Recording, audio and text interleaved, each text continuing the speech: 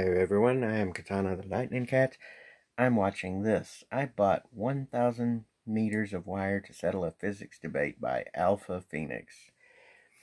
And somewhere around 10 minutes in, he's talking about seeing an initial blip, as he calls it.